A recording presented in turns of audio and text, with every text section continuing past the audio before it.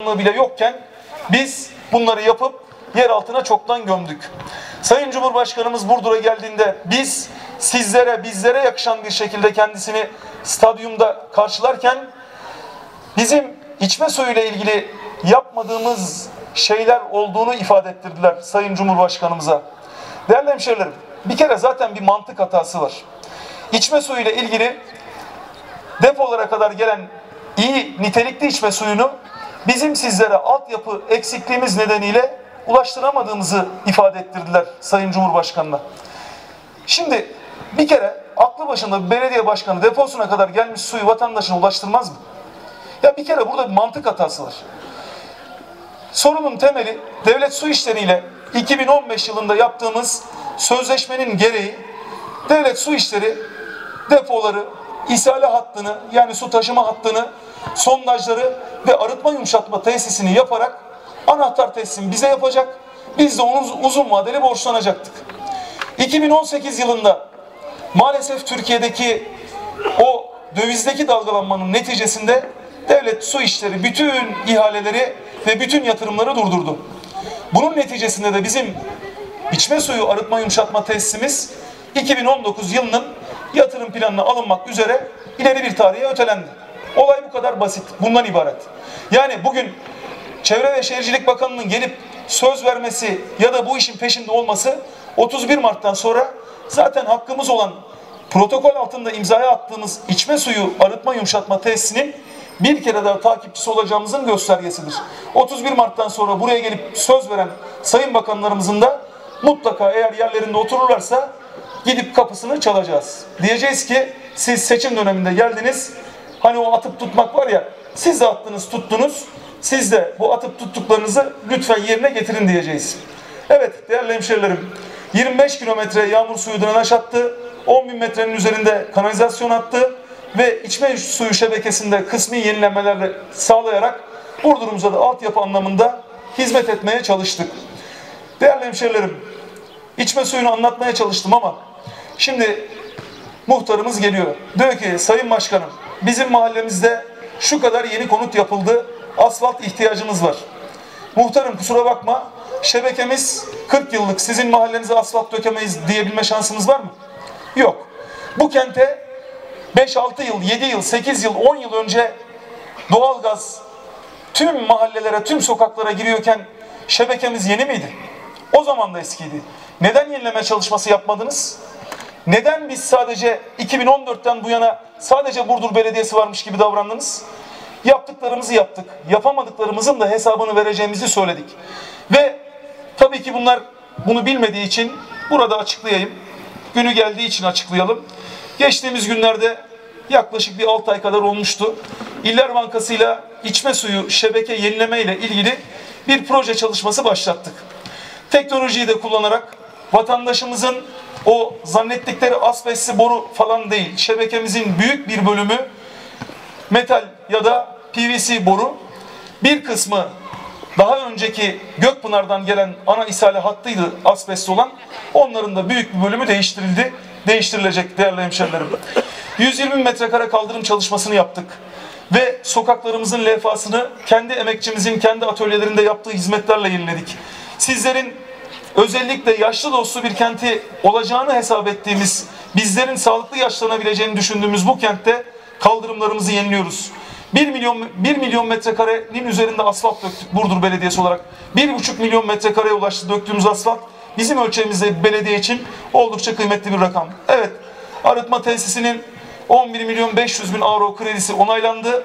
2,5 yıldır İller Bankamızın Türkiye Cumhuriyeti'nin devletin olan İller Bankası'nın Avrupa Yatırım Bankası'yla ihale metotlarında bir uyuşmazlığı neticesinde halen daha bu projemizi hayata geçiremedik. Biz projemizi teslim ettik. Projemizle ilgili hatta iki buçuk yıl içerisinde güncellememizi de yaptık. Önümüzdeki günlerde genel müdürünü e, daire başkanıyla görüştüm. Sayın Başkan dedi sizlik herhangi bir sorun yok artık top bizde dedi.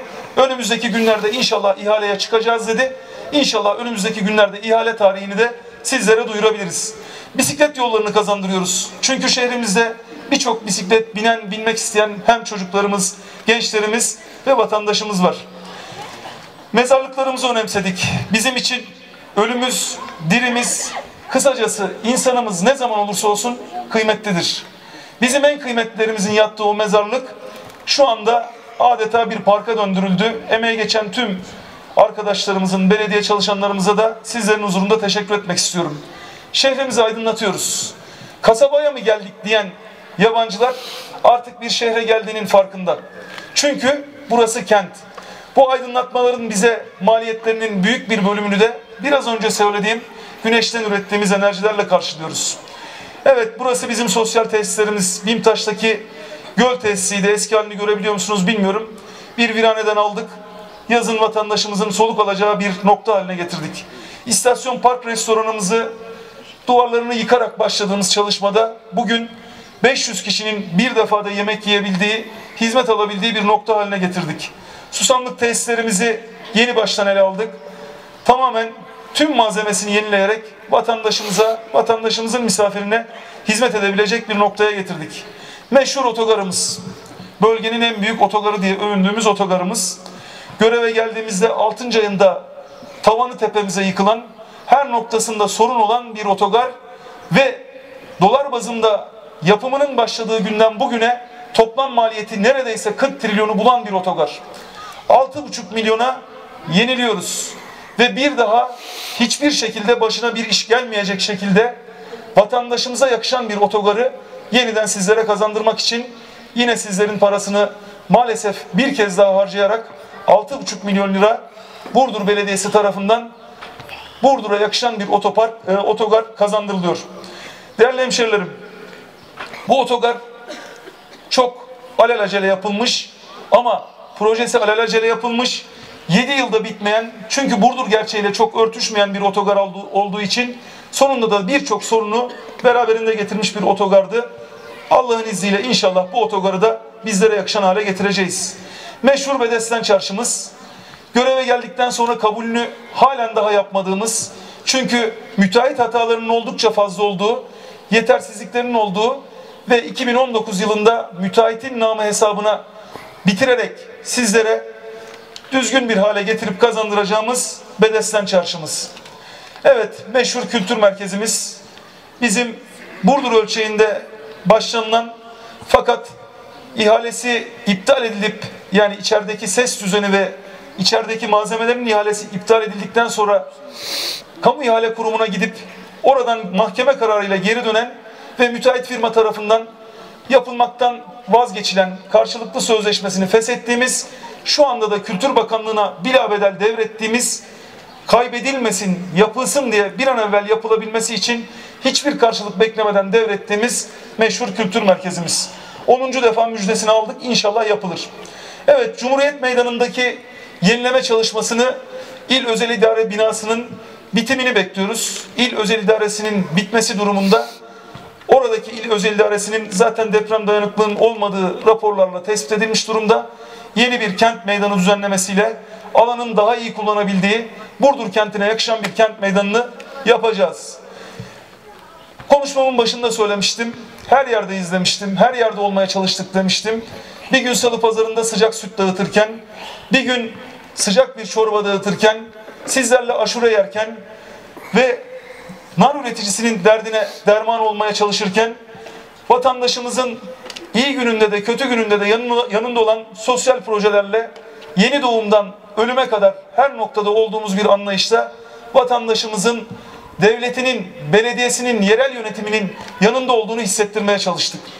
Değerli hemşerilerim, göreve geldiğimizde Ulu Cami'de bir cenaze namazına katılmak için gittiğimizde yazın güneşin altında, kışın yağmurdaydık. Çok basit bir şeydi o tente. Ama oradan başladığımız iş mezarlığa gittiğimizde altımıza tabur oldu. Vatandaşımızın o acılı gününde yeme içme derdine düşmesini istemediğimiz için acısını yaşayabilsin, eşine dostuna bir de ikram derdine düşmesin diye ardından pide ve ayrana döndü. Hoca efendimizi gönderdik, hoca hanımı gönderdik. Vatandaşımızın belki Kur'an okuyacak bir yakını yoktur diye. Ve ihtiyacı olan kim yurttaşımızsa, yurttaşımız kimse cenazesinin kaldırılması Burdur Belediyesi'ne aitti. Vatandaşımız bugüne kadar benim cenazemi kaldıracak param yok dediğinde cenazesi hiç bir vatandaşımızın ortada bırakılmadı. Biz bu hizmetleri yaparken vatandaşımızın gözüne sokan, tekaze eden bir anlayışla değil, bir elin verdiğini bir ele göstermeden yapmaya gayret ettik. Evet, daha önce de söyledim, süt üreticisinin derdine derman olmaya çalıştık. Ve bugünlerde kırmızı et üreticimizin de derdine derman oluyoruz. 3000 yurttaşımıza evine protein kaynağı olan kırmızı eti ulaştıracağız. Amacımız yerli üreticiye sahip çıkmak. Bugün Et ve Balık Kurumu'nun kasaları Sırbistan'dan, Rusya'dan getirilen etlerle doluyken bizim vatandaşımız, üretici vatandaşımıza iki aya gün veren bir anlayış var. Beslediği hayvanını kestirebilmesi için. Biz de küçük bir katkımız olsun, yerli üreticiyi destekleyelim maksadıyla hem üreticiye katkı vermek hem de ekonominin vatandaşımızı bu kadar zorladığı günlerde vatandaşımızın hamsinin kilosunun 10 lira olduğu noktada 250 gram hamsi aldığı salı pazarından biz evine 1 kilogram et olarak gidebilmeyi istedik. Biz vatandaşımızın her noktada yanında olacağız. Değerli hemşerilerim, biz sosyal belediyeciliğin içerisine sanatı da, tiyatroyu da, müziği de, festivali de, kitabı da aklınıza ne gelirse sokmaya çalıştık.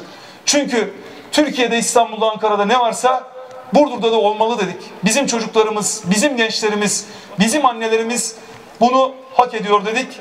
Ve sizlerin kıymetli mahalle muhtarlarımızın da katkılarıyla her bir mahallemizde düzenlediğimiz Ramazan iftarlarında ve ta başında adını gönül sofrası koyduğumuz, gönülden gönüle mağazasıyla başladığımız el ele tutuşmayı, kol kola girebilmeyi, diz dize birlikte olabilmeyi sağladığımız iftar yemeklerinde, iftar sofralarında aynı kazanda pişmiş yemeklerde sizlerle birlikte olduk. Evet, daha önce de söyledim, aldığımız ödüller, bugüne kadar Burdur Belediyesi'nin gerçekten aldığı görevler, aldığı ödüller içerisinde iyi bir dönem geçirdiğimizi düşünüyorum. Sadece kent merkezinden görülen değil, Türkiye'nin her noktasından bilinen, görülen birçok projemizin de ödül aldığını sizlere söylemek istiyorum. Evet, Armanici Mahallesi'nde yaptığımız çalışmaları arkadaşlarımız koydular. Asfaltlama alanında da o eksiklerimiz giderilecek. Yaptığımız çalışmalar içerisinde görüyorsunuz düzenlemeler ve en önemlilerinden bir tanesi de size sözümüz var. Bunu yapacağız. Dediğim o ekonomik dalgalanma olmasaydı demirin fiyatı 1.90'dan 2.1'den 4.5'lara kadar gitmeseydi sizlerin semt pazarınızda sizlere bu sezonda kazan, kazandırmış olacaktık. 2019 programımızı aldık. İnşallah bir aksilik olmazsa 2019 programımızda sizlere semt pazarımızı bu 7 esnafla başladığımız bugün 140'ı geçti herhalde muhtarım? 140 esnaf arkadaşımızın artık size hizmet vermek üzere geldiği semt pazarını üstü örtülü sizlerin daha temiz ve hijyenik bir ortamda pazarlıklarını alabileceği bir ortam haline dönüştüreceğiz. Evet.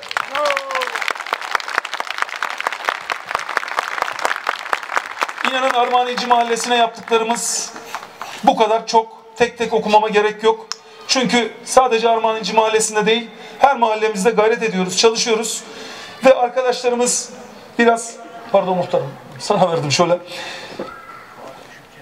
Slide gösterimizi kısa tutmaya çalıştı. Birkaç şey daha söyledikten sonra size sözümü bırakmak istiyorum. Soru sormak isteyen, fikir beyan etmek isteyen, arzusu, isteği, talep olan vatandaşımız varsa onlara da cevap vermek istiyorum. Şunu söylemek istiyorum. Önümüzdeki süreçle ilgili bazı şeyler size kopyasını vermek istiyorum. 6 Mart'ta bir proje tanıtım toplantısı yapacağız. Bu proje tanıtım toplantısında da 2019-2024 yılları arasında Burdur'a yapacaklarımızı anlatacağız sizlere, çok kıymetli hemşerilerimize. Biz orada Burdur'un bundan sonraki süreçte çocuk, yaşlı, genç ve kadın dostu bir kentinin nasıl olacağını anlatacağız. Çocuğuna bakmak zorunda olduğu için işini bırakmak zorunda kalan kadınımızın çocuğuna bakan bir belediye, işe git işe gitmek istediği halde iş bulamayan kadına bir meslek kursu ardından öğret, öğrendiği meslekten edineceği ekonomik katkı ve annesine babasına bakamayacak durumda olan vatandaşımızın bir yaşlı bakım merkeziyle anasının babasının Burdur Belediyesi güvencesinde bakılmasını sağlayacak bir anlayış ve kadınlarımızın özellikle kadınlarımızın günlerini değil birlikte öğrendiği şeyleri birlikte paylaşabileceği mahalle evleriyle sizleri daha çok alanda bir araya getireceğiz. Evet, arkadaşlarım notu iletti. TOKİ ile ilgili bir şeyler anlatılıyor.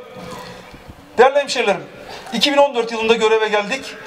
O günden bugüne başta Bozkurt Mahallesi depremeleri olmak üzere Necati Bey için de çabamız var.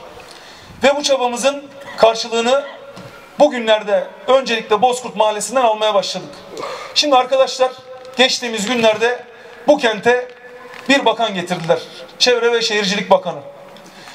Sayın Bakan Burdur'a gelirken Burdur'da bir belediye başkanı olduğunu herhalde Sayın Bakanımıza ifade etmemişler ya da iletmeyi unutmuşlar. Burdur'un seçilmiş bir belediye başkanı olduğunu unuttukları için Burdur'daki Burdur Belediyesi'ne hiçbir şekilde davette bulunmamışlar. Yapılacak projenin bir kere her şeyden önce yapılabilmesi için en başında taahhüt ettiğimiz 9000 metrekare araziyi biz Bozkurt mahallesindeki depremelerindeki sakinlerimizin lehine zaten vereceğimizi başında söyledik. Bunu söylediğimiz için bu proje oradaki yurttaşlarımızın okey vermesi neticesinde başladı. O vatandaşlarımızı tek tek alıp müşavir firmayla görüşebilmesini ve her sorunlarında onların arkasında ve yanlarında olacağımızı ifade ederek biz bu projeyi başlattık. Ve maalesef o gün Sayın Bakan geldiğinde şöyle bir basın bülteni yayınlandı ertesi gününde. Sayın Bakan'ın adayımıza verdiği sözle ihalemiz yapıldı ve önümüzdeki günlerde TOKİ Burdur'a yatırımını yapacak. Ya şimdi çok enteresan. Değerli hemşerilerim, burada kayyum yok. Burada atanmış bir bakan, başkan yok. Burada Burdur halkının yani sizlerin iki kişiden birinin oy verdiği bir belediye başkanı ve bir belediye meclisi var. Onların aldığı kararla, onların verdiği 9000 metrekare araziyle bu proje başladı. En azından hadi oraya çağırmadınız da nezaketen Burdur Belediyesi'ne bir teşekkür etseydiniz. Yakışmaz mıydı? Burdur Belediyesi'nin yaptığı emeğe, hizmete karşılık bir teşekkürü hak etmez miydik? Bence hak ederdik. Ama bu bir nezakettir. Nezaket kişilerin karakteriyle ilgilidir. Bizden önceki tüm belediye başkanlarımıza yaptığı bütün hizmetlerden dolayı her defasında teşekkür ettik. Eleştiri hakkımızı saklı tuttuk. Eleştirilecek yerlerde eleştirdik. Ve benden önce 10 yıl sadece bakın öncesine gitmiyorum. 10 yıl bizden önce görev yapmış ve karşı görüşten siyasi partinin belediye başkanımıza ben her fırsatta teşekkür ettim. Biraz önce sizlerin huzurunda da yapılan o otoparkın projesini de ihalesini de kendisinin yaptığını söyledim. Dürüst olmak zorundayız. Birbirimize samimi olmak zorundayız. Çünkü 31 Mart'tan sonra da biz yine bu memlekette birlikte yaşayacağız. Ve hastanemiz, değerli hemşerilerim, Sayın Cumhurbaşkanımız Burdur'a geldiğinde bir araştırma hastanesi yapılacağını söyledi. Çünkü gittikleri her mahallede hastanenin yeriyle ilgili eleştiri aldıklarını biliyorum. Hastanemizin yeri bir tane eğer hastane olacaksa doğru bir yerdir, yer değildir dedik. Yapılacak hastane herkesin elinin altında olmalı dedik. Yapılacak hastane ilçelerden gelen yurttaşımızın da hayatını kolaylaştıracak bir noktada olmalı dedik. Şimdi bu hastanenin sadece binasını düşündüğünüzde 250 milyon liralık bir yatırım. Peki bunun çevre yolları, bağlantı yolları, kavşakları, girişleri, çıkışları, sosyal donat alanları ve o alanda ihtiyaç duyulacak diğer alanlar. Bunlar nasıl karşılanacak? Bu konuyla ilgili hiçbir fikir yok. Ve bizim şirketlerimiz var değerli hemşerilerim. Bunu da söyleyeyim. Ondan sonra sözü size bırakmak istiyorum. Şirketlerimizin durumuyla ilgili göreve geldiğimizde biz muhasebe olarak evrakları inceledik. Muhasebe açısından evrakların çok yeterli olmadığını gördük ve hukuki sürecimizi başlattık. Şirketler 5,5 milyon eksideydi.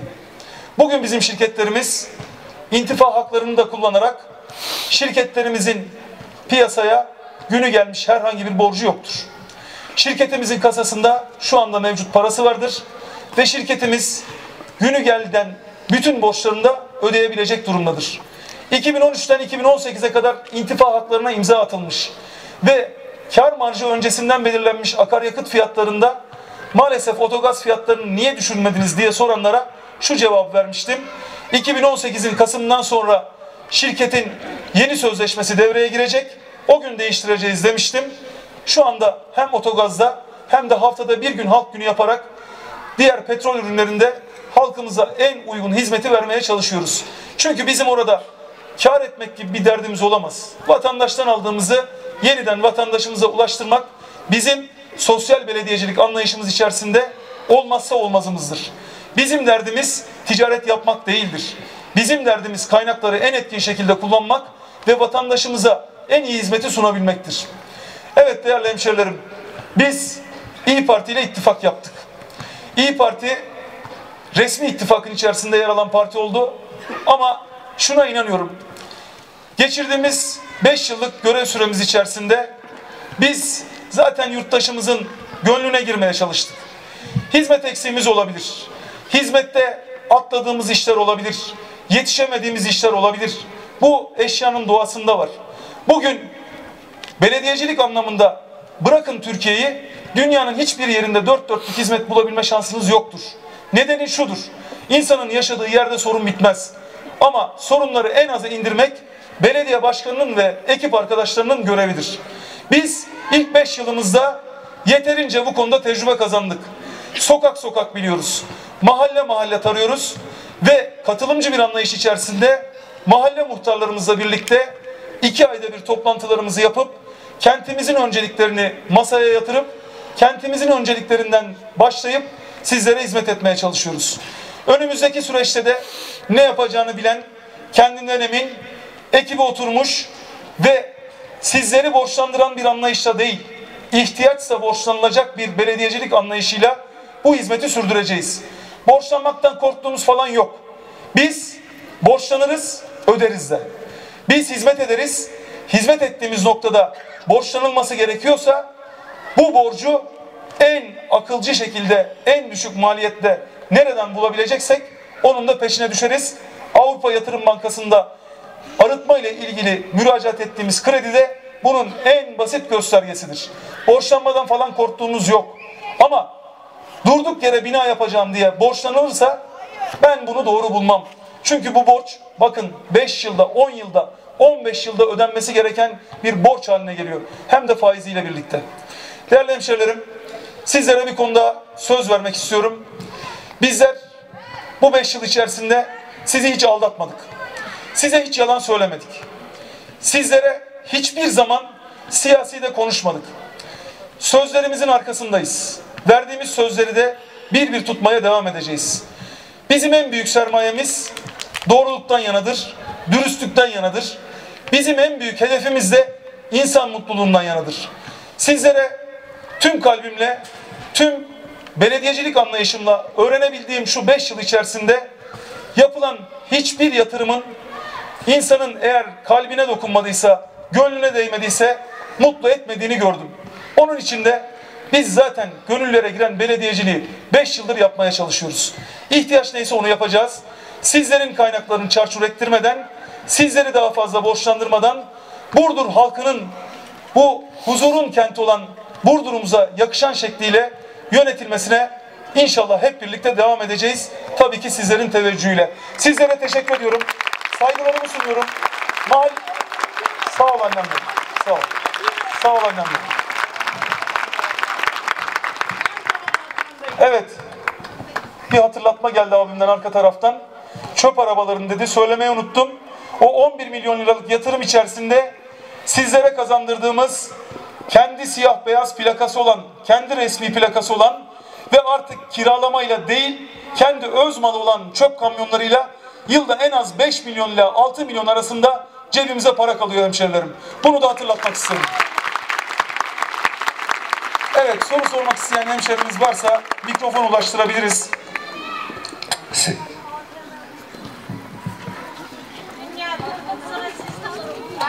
Çok teşekkür ederim, çok sağ olun. Evet, buyurun abi. Sayın Başkanım, ben Adil Özgür, bu mahallenin ilk muhtarıyım. İkinci de arkadaşımız. Bizim Ali, hoş geldiniz. Teşekkür ederim Adil abi. Sağ olun.